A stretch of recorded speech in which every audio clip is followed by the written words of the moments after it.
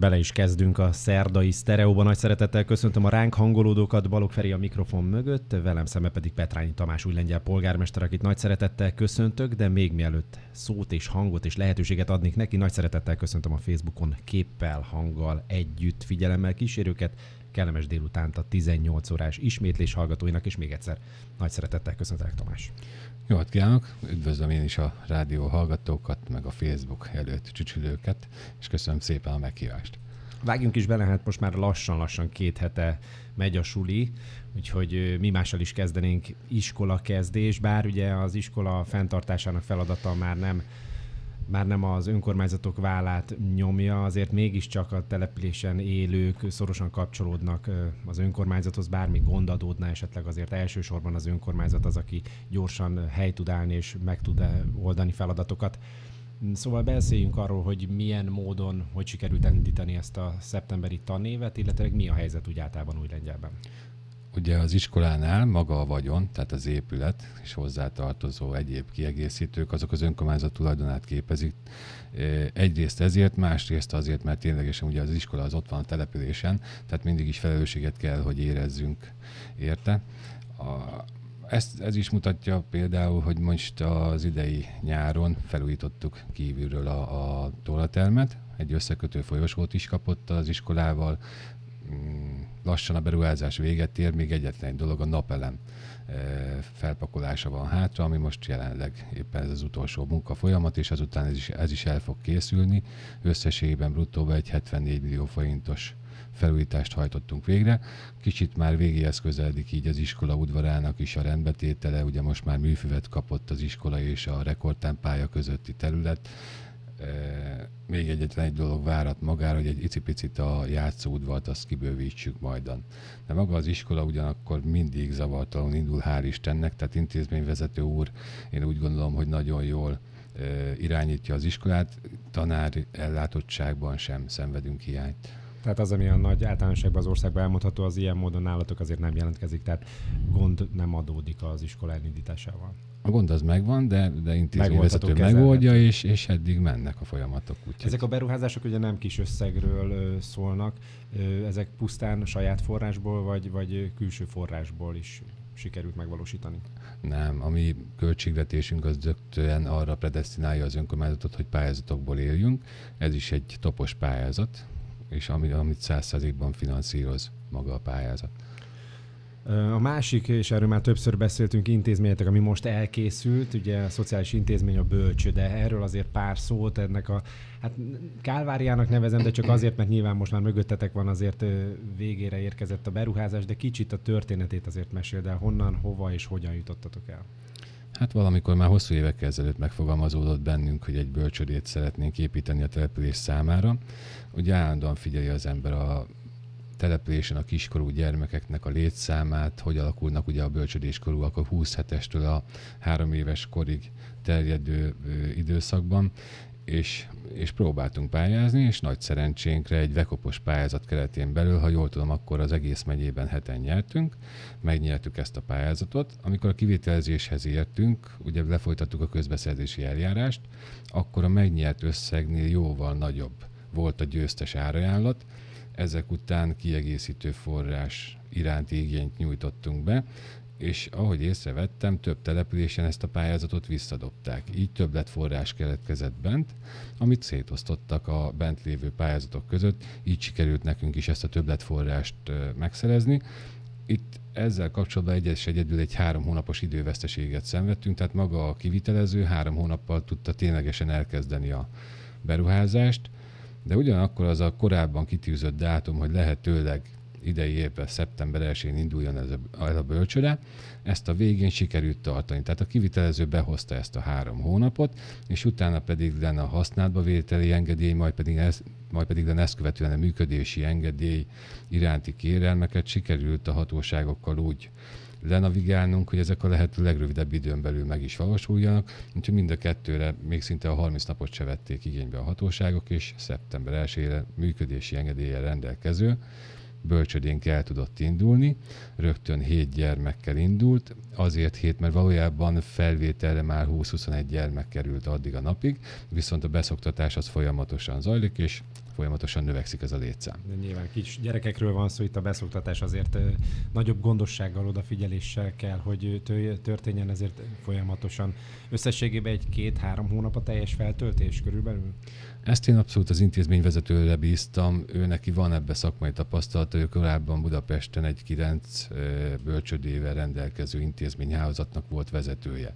És nagyon örülök, hogy kijött ide Újlengyelbe és elvállalta, elvállalta ezt a pozíciót, tehát ő, az ő számára az intézmény vezetés sem volt idegen, és ezt mindig a szakma döntse el, hogy, hogy mi a jó a gyermeknek, ilyen miben mi nem szólunk bele, úgyhogy ahogy ő jónak látja, ahogy ő navigálja, úgy történik a feltöltése a bölcsödének. Egy új épület, egy új intézmény, egy új épület, épített környezet, nyilván ez is az önkormányzat intézményrendszerét bővíti. Ez milyen hatással van a településre? Gondolok itt arra, hogy nyilván a gyerekek, a, a, a szülők vissza tudnak menni dolgozni, de akár a munkavállalás kapcsán. Szóval most mik az első tapasztalatok?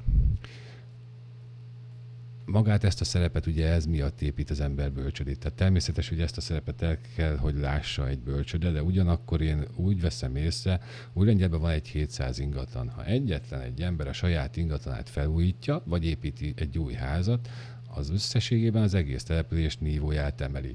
Na most egy új intézmény ezt hatványozottan megteszi. Tehát a település vonzó képessége, vagy az embereknek a helyben maradásához nyújtott segítsége, az szerintem igen jelentős.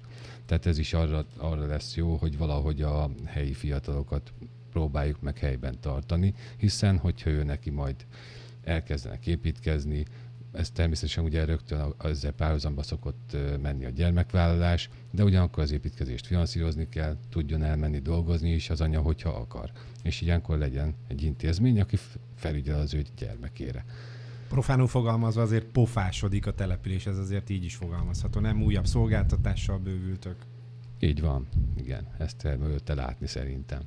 Kicsit értékeljük így a szeptemberig eltelt időszakot önkormányzati szempontból újlengyeli lakosokat érintő témában, szóval mi minden történt eddig ez alatt a 90 hónap alatt nálatok?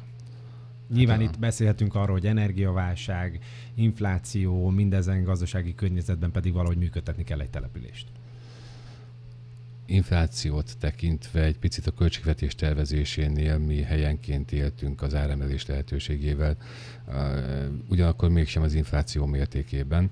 Tehát ugye nálunk több évig nem voltak díjak emelve. Itt most különösen mondjuk egy kultúrhasználati díjra gondolok, amit, amihez 12 éve nem nyújtunk hozzá, most egy picit racionalizáltuk ezeket az árakat Egyébként az infláció egyéb hatását úgy nem érzékeli az önkormányzat, ami egy kicsit örömteli, hogy az év, év elejé energiárakhoz képest ugye azzal tervezte az ember a költségvetést, utána abba egy csökkenést érzékeltünk, most jelenleg egy ilyen 80 forint per kilovattóra nettó áron vásároljuk az elektromos energiát, ez rögtön így ugye egy többletet eredményezett a költségvetésünkbe és azt mondhatom, hogy mindenféle nehézség ellenére azért a település működik, és zavartalanul tudjuk fizetni nem csak a munkabéreket, hanem mindenféle számlát, és ugye zavartalanul tudjuk végrehajtani a beruházásainkat is. Kicsit visszatérve az energiaárakhoz, és ott emlékszem, hogy te voltál, aki kivártál, és nem ugrottál bele a különböző, még magasan lévő árfolyamon történő szerződéskötésekbe.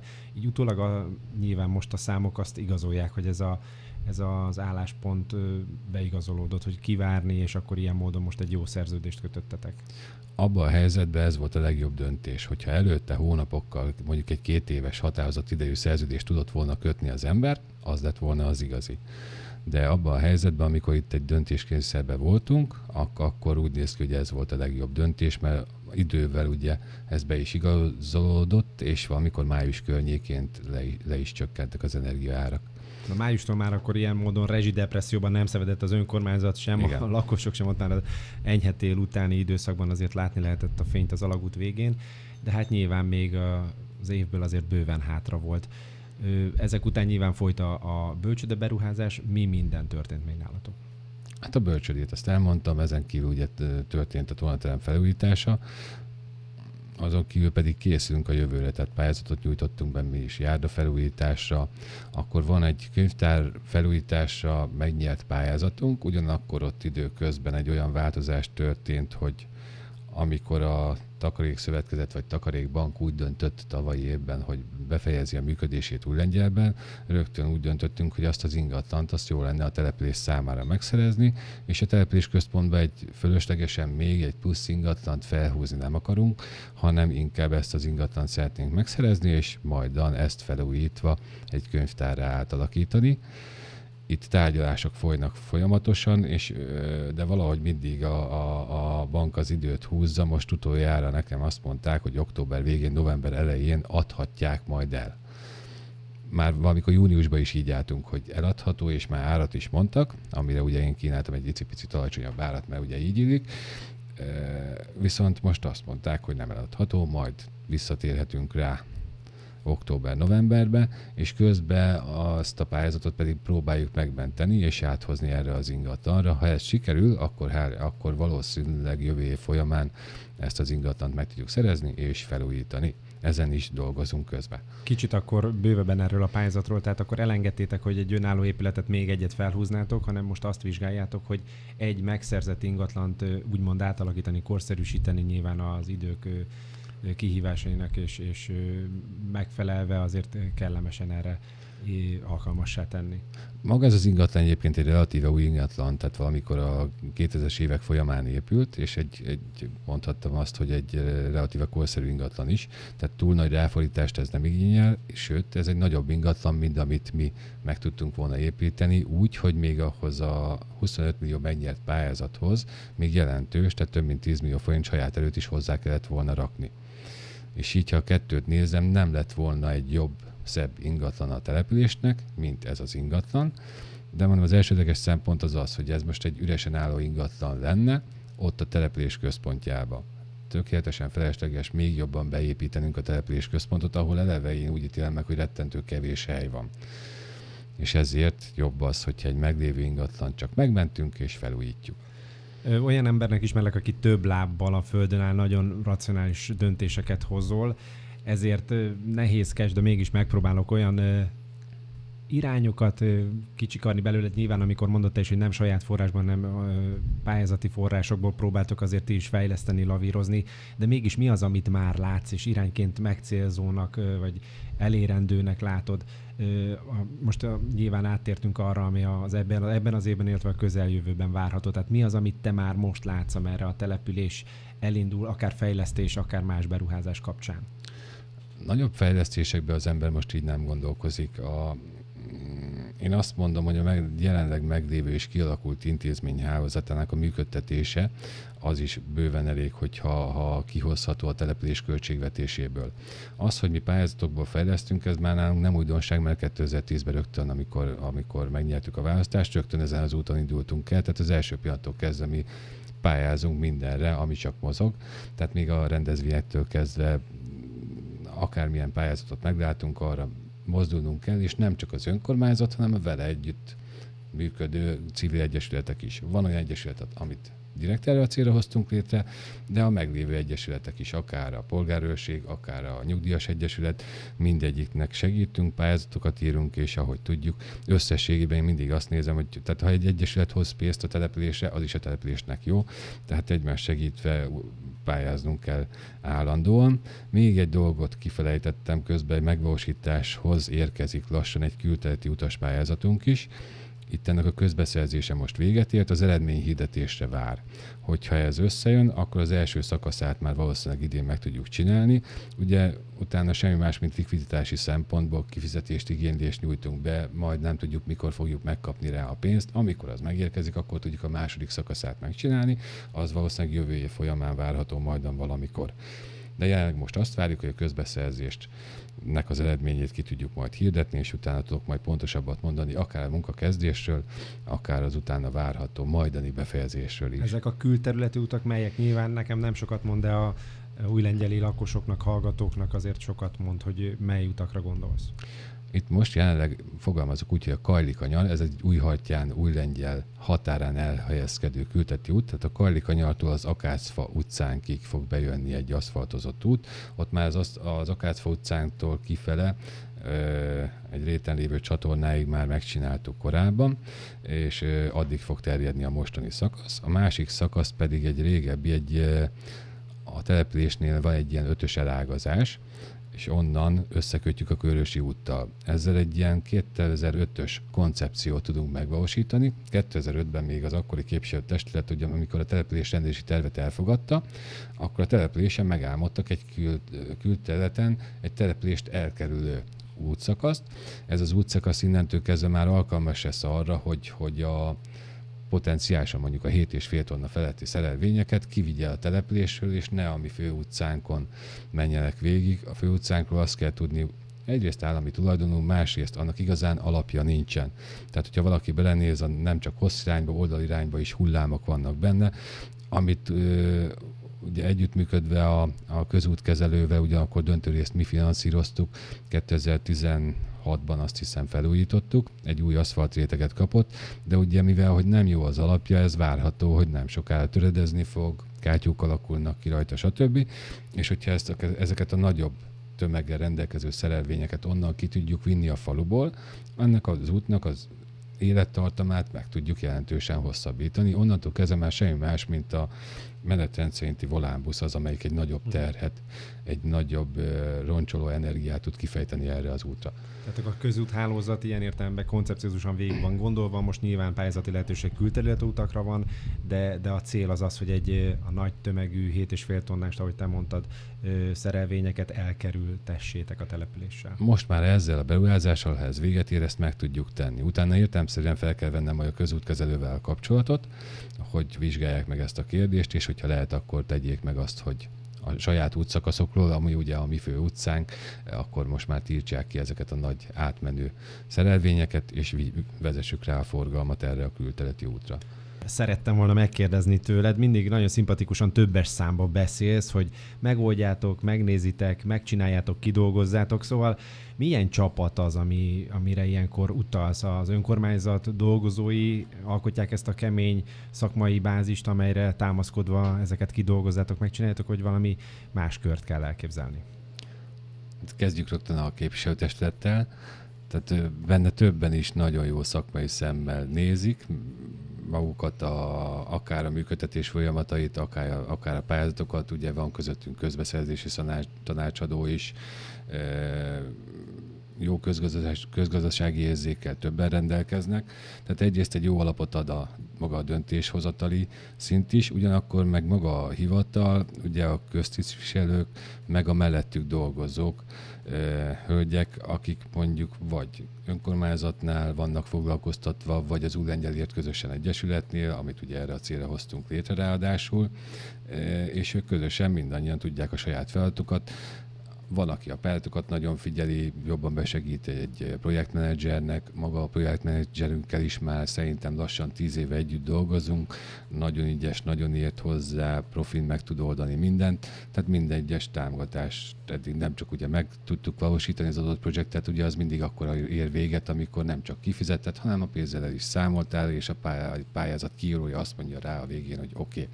Tehát kompletten ők nagyon jól le tudják navigálni ezt a, a, az összes ehhez kapcsolódó folyamatot.